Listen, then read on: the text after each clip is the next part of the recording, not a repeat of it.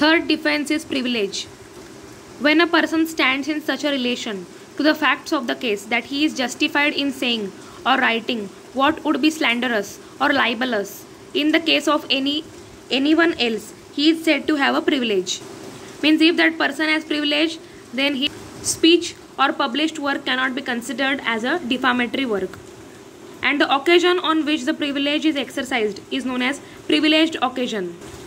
There must be circumstances under which it is a right that no one should speak out about another and state fully and freely what he honestly believes to be the truth. Privileged occasions are of two types those who confer an absolute privilege and those that confer only a qualified privilege. Means in privilege, this is the defense, third defense for defamation. In privilege, there are two types absolute and qualified privilege.